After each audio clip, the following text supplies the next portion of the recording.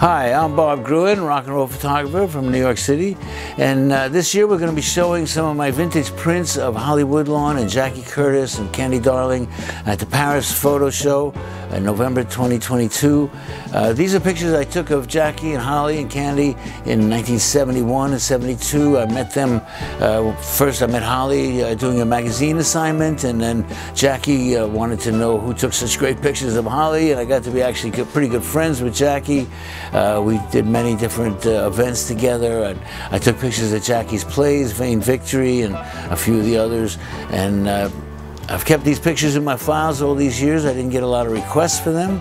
Uh, Jackie passed away in the 80s. Uh, Holly just recently passed away the last couple of years.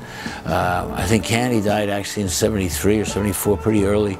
Um, so I've just had these pictures in my files, and nowadays there's a lot more interest in Andy Warhol and in the superstars and the 1970s eras in uh, general.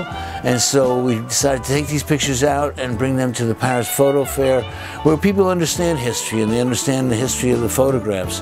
Uh, so we're showing these photographs along with uh, some of my other music work, uh, pictures of De Debbie Harry and Patti Smith, and uh, I hope you're going to enjoy it. Paris Photo, November 2022. Uh, please come and enjoy the exhibit.